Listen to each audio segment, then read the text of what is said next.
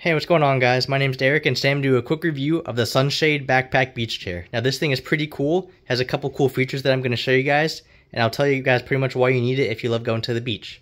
So first off, like I said, it does fold up into a backpack, but I'll show you what it looks like at the end and how it's so easy to carry. But for now, let's go into some of the features of this thing. So first up, right on the right hand side here, there's a nice little cup holder. Um, it's perfect for a can or a a, or a cup or anything you want. So that's nice for a nice hot day, a cold drink.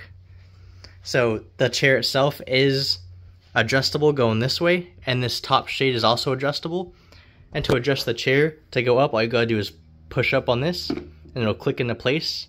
And if you want it to go back, you just have to lift up on the handle a little bit, and you can put it back a little bit.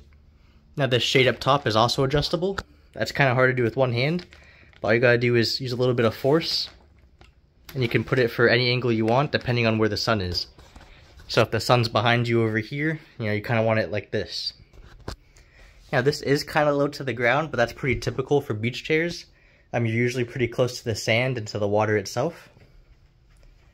The, desi the design of this chair is pretty comfortable. There's a nice little headrest right here. And this back is pretty meshy. That allows some uh, wind to come through in the back so your back doesn't get all sweaty. And overall, I'm a pretty big fan of this chair.